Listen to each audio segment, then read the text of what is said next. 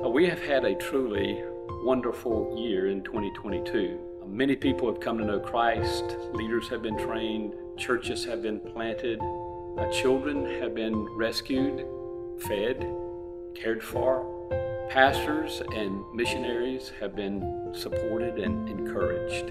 This has been a wonderful year because of the Lord's favor, because of a strong, committed